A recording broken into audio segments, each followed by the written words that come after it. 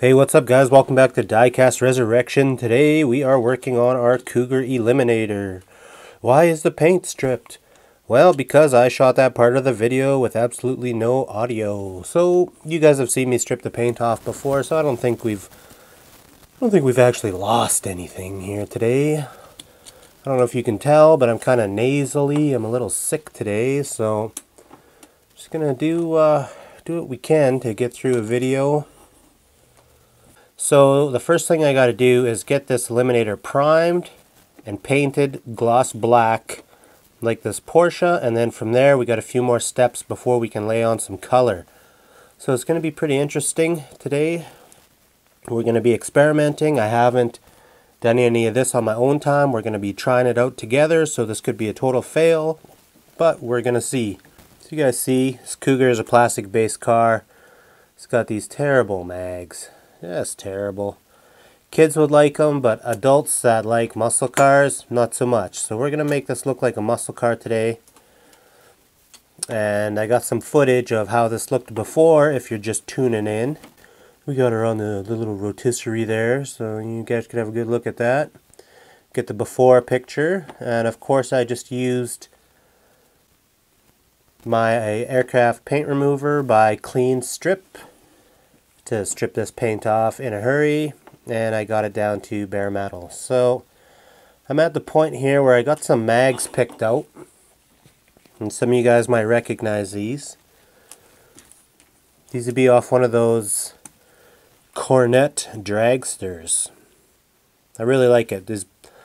I hate that they're they're not color matched, but I get it, you know when you drag racing, you, you don't have a matching set for your slicks. So we got some big old rubber meats we're going to put on these things, but what I'm going to do today is try to make these look the same. So we're going to be painting these wheels today. So that'll be something interesting, something we haven't done before. And we're going to see if we can get this kind of anodized look. And we're going to see how that goes. So that is the plan, you guys. So the first thing I need to do is I'm going to give this body a little bit of a sand. I've already gone through with my file and I've cleaned up some of the flashing I didn't like. Back here was really bad. And uh, there's a little bit of stuff on these fenders I cleaned up.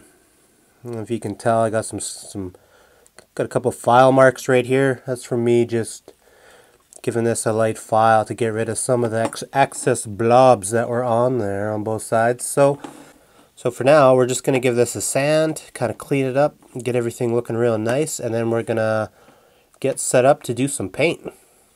What do we got here? We got a little 15 Hyundai.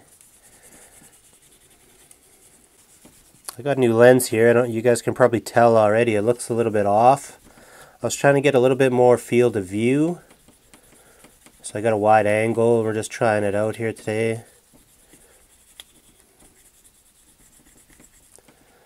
I'm basically just giving this a scuffing. We could do this with a Scotch-Brite pad if you don't have sandpapers. It'd Work just fine, or even a steel wool. And we just want to give this a quick wet sand. Just to get everything kind of equalized here. Probably all we need to do. this car from the factory had really nice paint, so I've got no doubt. I've got no doubt when we uh, when we paint this, it's gonna look just as good, or well, probably better. Hopefully better.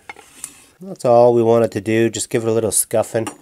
So I've already filed these posts relatively flat, so they're ready to be drilled. And then from there, I believe we can uh, start some painting. Gotta remember to do these. Can't forget them. Can't forget them.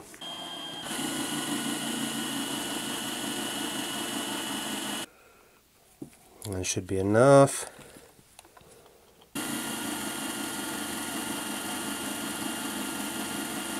So we're about ready to start painting. So for the candy to work, we got to get this to gloss black first so that we can make it chrome. And then from the chrome, we start laying pigment down. And then after the pigment, we got to clear coat. And then maybe we'll do some flat black graphics on here or something like that. So that's kind of my plan for now. But the first step is to get this Eliminator body looking like this Porsche body. So that's what we're doing. Alright, step one. We are going to primer this with a self-etching DTM primer.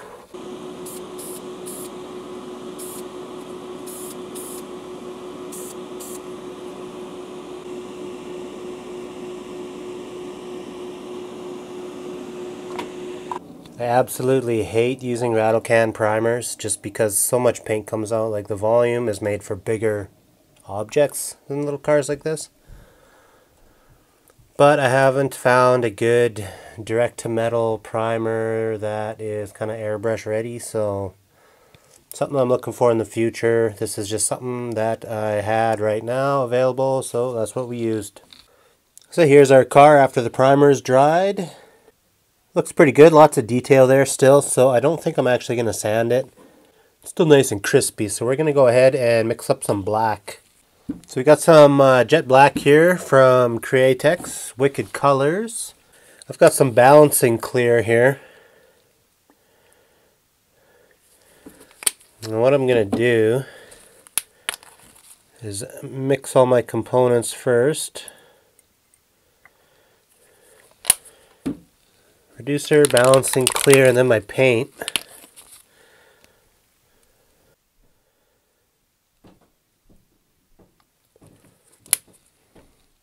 It's a little confusing when you first start using this stuff just because there is so many different formulas depending on what you're doing. I'm going to give this a good mix.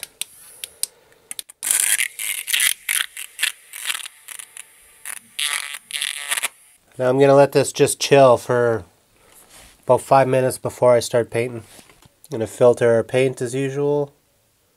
I mixed up more than I needed. It's tough when you're adding so many ingredients, but is what it is.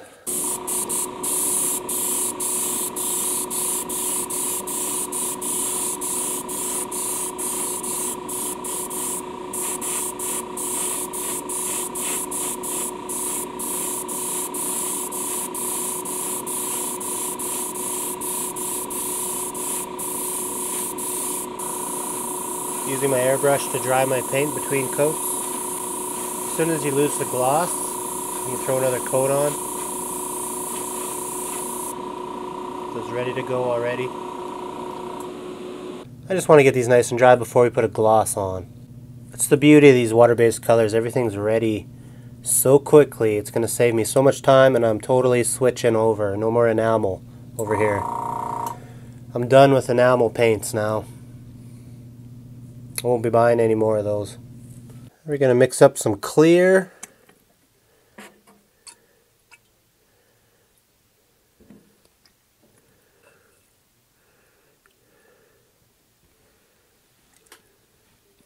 This is 2K clear that I am running a reducer in.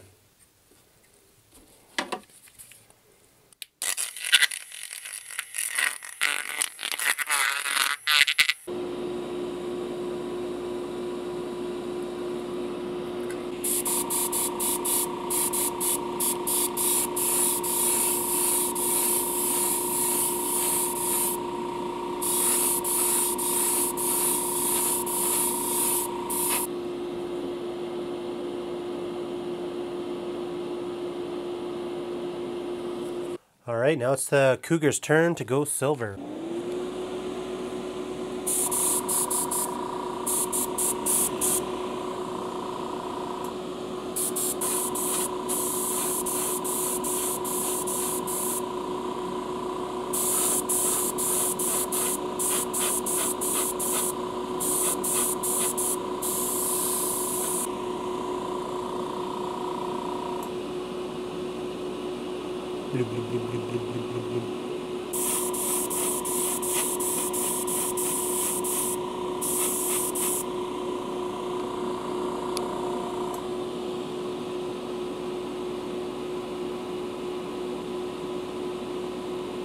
For the Cougar, we're using something called Tequila Yellow, but it's going to be more like an orange when it's done.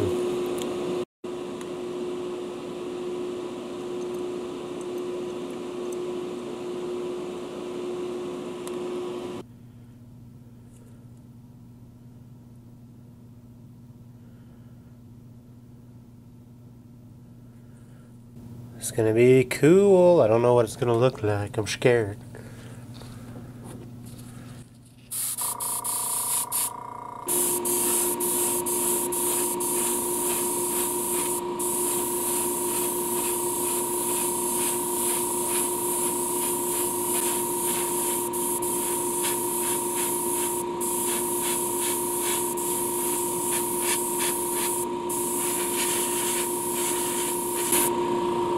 So tough trying to keep everything even.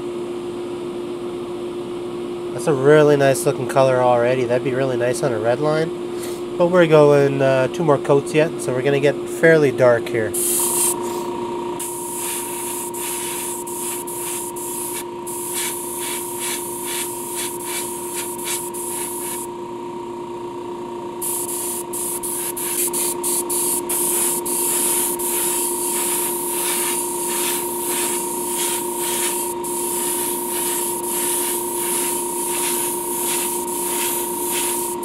Going to let this dry up. We're going to hit it with a clear coat and then we're going to see the magic.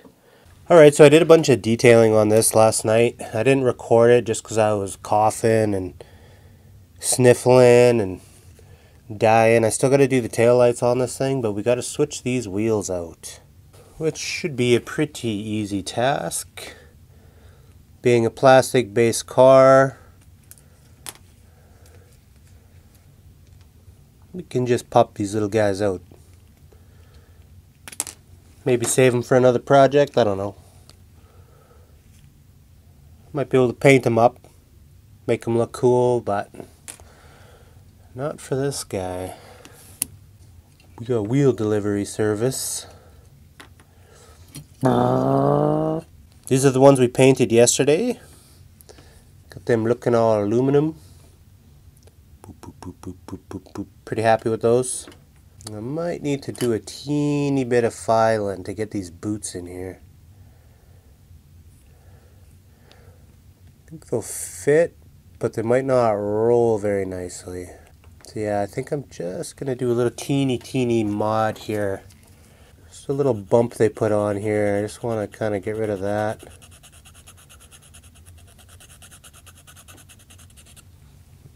Something like that. Should give us a lot more wiggle room here. Something like that. Fits in there not bad. Probably still going to need a little dab of glue just because once you bend these little plastic tabs a little bit, they don't really go back.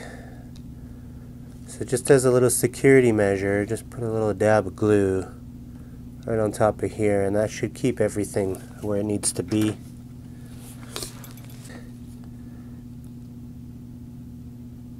it. So we got our interior. Looks pretty good. I'm probably not going to do anything with it. I know some guys are really into doing interiors. I personally am really into doing paint. So, you know, everybody's a little bit different. I'm totally good with a plain black interior like this. Nice and clean. I don't feel like I can get in there good enough to do it justice. So I'd rather just leave it alone rather than to do a bad job at it. So much more into doing paint and finish. There's a little imperfection in our glass from the factory. So I think I am going to give it a dip in Je Pledge. And pretty well once that's dry, I think we could put it all together. You can hear the furnace is on. Sorry about that Just get this dipped and then we'll move on. Uh,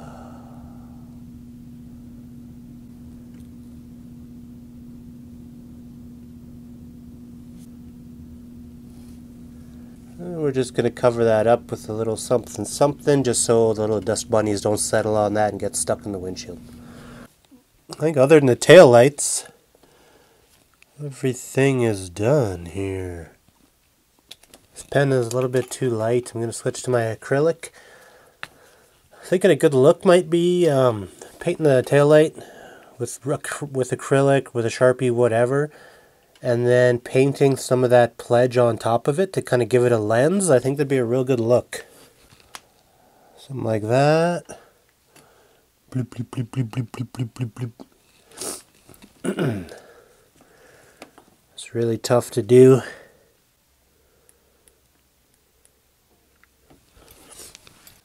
Looks pretty good. Let that dry for a second here. I think we're at a point here where I can put everything back together.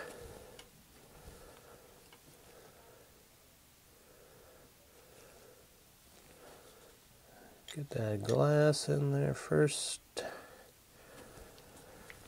This was a pretty fun little project, this one. I enjoyed it. I really enjoyed painting this. It was a lot of steps. It ended up being about probably at least 10 different coats between primer, clear coats, black, candy, you name it. There's a lot of work. It's very tedious, but at the same time, this is going to be one of my, probably one of my better cars.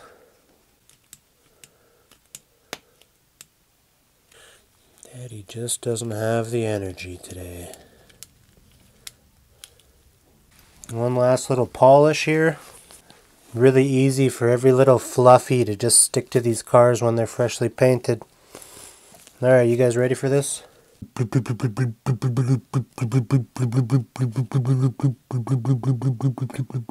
you think of this beauty?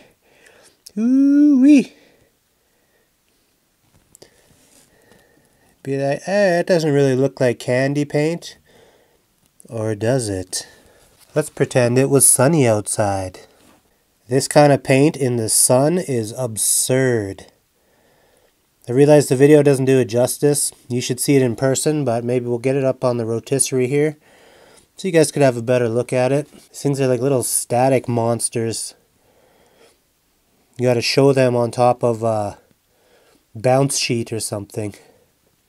But that paint came out amazing. I'm so glad I've got uh, I think 14, 15, I don't know, 14 or 15, 16 colors of this candy. And it is blendable, so you can make your own color. If you remember, this is tequila yellow, but I added a few drops of blood red to it to kind of give it this yellowy orange thing we came up with. Out of direct sunlight, it looks like a nice copper orange, but as the sun hits it, it kind of turns yellow and it gets really nice. So cool. I'm very pleased with this. We got the hood pins this time and the door handles. I know you guys were complaining. Well, not complaining. I clear coated the Chevelle before I even thought about doing door handles. On this car, I did the door handles and the pins before I clear coated the candy. So those are sealed in there forever. So there you go guys. I hope you guys enjoyed this video. I'm Ready to give my throat a break here. As you can tell, I'm having trouble a little bit speaking today, but I'm really glad I, uh, I worked on this and I got to try out that new candy paint. There's going to be a lot more candy paints coming up on the channel. If I were to go to extra mile on this, I could have did a little bit of flat black work and maybe did the uh, Eliminator pinstripe, but you know, when you do a candy paint job like this, I just, uh, I didn't bother on this particular car. I think it looks really good how it is. You went the mile, put a little paint on the lower valence there. The front and the back, so... So considering what we started with, I think this thing turned out really nice. And hopefully I can do a bunch more muscle cars like this in the future. I'm not sure what the next car is going to be. I got a, a 66 Nova I kind of want to work on. But, uh, yeah, we're going to be playing with these candy paints for a while and just see what we can do with them. I hope you guys enjoyed this video. I'm going to take a little rest here and uh, hopefully uh, I'll get another video out to you soon. Have a nice day, my friends.